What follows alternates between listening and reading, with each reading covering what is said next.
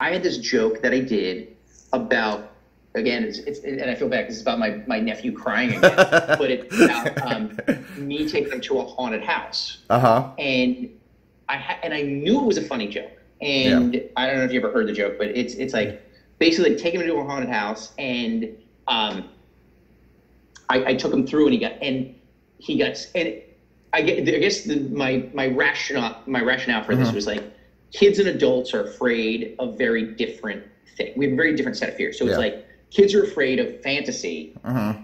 adults are afraid of reality. So kids are afraid of like you know the you know the monsters and Dracula yeah. and, and Frank whatever. We're afraid of you know like am I going to lose my house? Uh, mm-hmm. Am I going to lose my job? Uh, is you know uh, am, am, I going to get sick and die? Like real shit, taxes stuff. Yeah. You know, ha- you know, and then so like I did this thing where like I took my nephew through this. It was at this carnival. And took him through this haunted house. Yeah. And like this guy dressed as the Wolfman jumped out and scared him, and he got really scared. And he got like so scared, it was building up that I had to like pull him aside and be like, "None of this is real. It's yeah. okay. None of this is real." Yeah.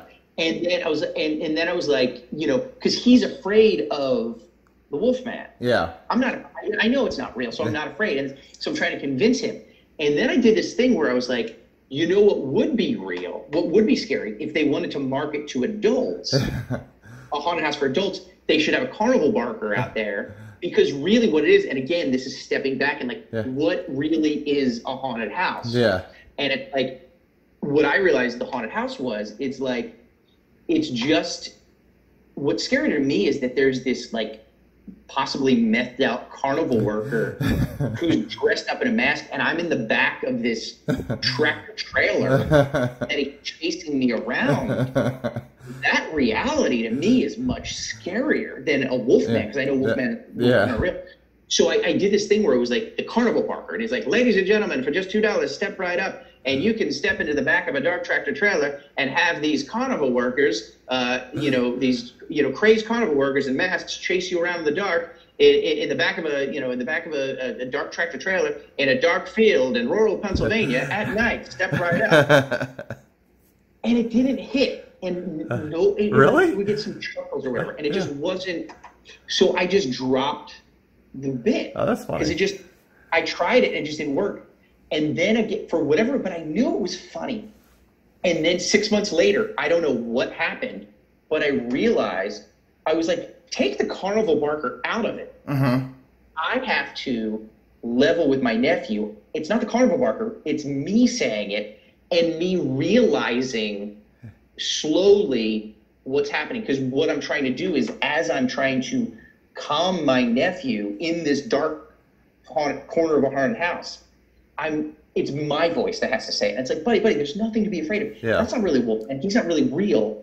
None of this is real. Just think about it. We're not in a we're not because it was called Dracula's castle. Mm. We're not in Dracula's castle. We're not in a castle. Think about it. We're just in the back, and I'm, yeah. again, I'm calming him down, and I'm like kind of kneeling down on yeah. stage, you know, bending down on stage, yeah. talking to the kid, and it's like, uh, we're just in the back of a dark tractor trailer surrounded by a bunch of carnival workers in masks chasing us around in a dark field in rural Pennsylvania at night. And then it's like this realization. It's like, let's get the fuck out of here now. Let's Like, I'm afraid. I like that's the reality. So like me, and it's I you know comedy's all about emotions. Yeah. So it's like the carnival barker doesn't have an emotion. He's just being a carnival barker and selling it. But to me, it was like I'm being the good uncle and yeah. trying to be really pacifying. Yeah. Like, look, everything's fine. And as I'm telling it, yeah. and like slowly You're letting realizing. out the facts yeah. to the crowd, they're getting it yeah. at the same time that I'm getting it. Yeah.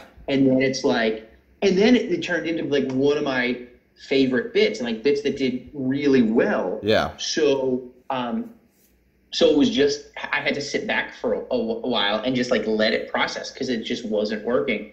So sometimes it's just you, you let it yeah. sit in the back of your notebook and you just let it collect dust for a little yeah. while. Well, that's the about. The about was you like the audience finding you're realizing it in real time that this is a terrible. That yeah, that terrible. Oh, okay, yeah. cool, man.